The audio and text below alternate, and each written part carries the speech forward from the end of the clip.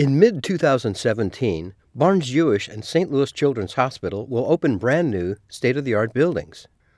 That's really hard to envision right now since there are two large holes in the ground with a lot of construction equipment.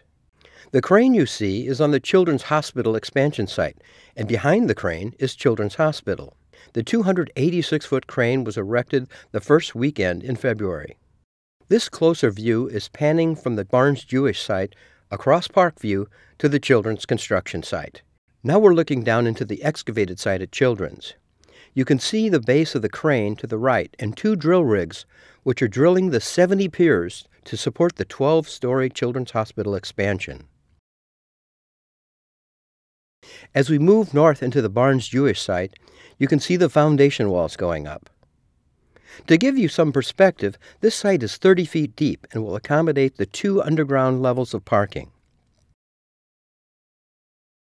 Still on the Barnes Jewish site, the rectangular hole in the center is where the elevators will be located, serving the two levels of new parking garage and the lobby of the new building. The round circles on the ground in the middle are the sump pumps, much larger than you'd find in your own basement. As we move to the right, you get a bird's eye view of the four red drill rigs that are drilling the 205 piers that will support the 12 story Barnes Jewish Hospital expansion.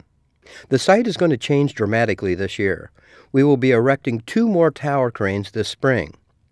The steel will go up quickly, and all 12 levels of steel on both buildings will be up by the end of this year.